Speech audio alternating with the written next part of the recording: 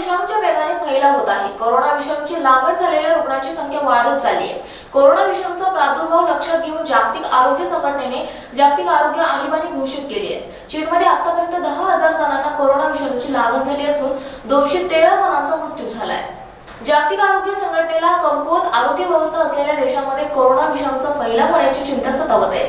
Corona विषाणूचा फैलाव चीनमधून झाला आहे त्यामुळे चीनमध्ये या रुग्णांची संख्या सर्वाधिक आहे. भारतात आतापर्यंत कोरोना विषाणूचा फक्त एक रुग्ण आढळलाय कोरोनाला रोखण्यासाठी आपण सर्वांनी एकत्रित प्रयत्न करण्याची गरज आहे. आपण सर्व एकत्र आलो तरच कोरोनाला रोखणे शक्य आहे असं जागतिक आरोग्य संघटनेचे प्रमुख ट्रेडोस म्हणाले. कोरोना विषाणूचा फैलाव आतापर्यंत पंधरा देशांमध्ये झालाय. त्यामुळे चीनमध्ये प्रवास करण्यावर तसेच व्यापाऱ्यावर निर्बंध आणून काही सध्या होणार नाही असे टिड्रोज यांनी सांगितले. कोरोनाचा फैलाव रोखण्यासाठी चीनचे वुहानसह काही शहरे पूर्णपणे बंद केली आहेत. वुहान हे कोरोना विषाणूच्या फैलावाचे मुख्य केंद्र आहे. bureau report Juma news Navi Delhi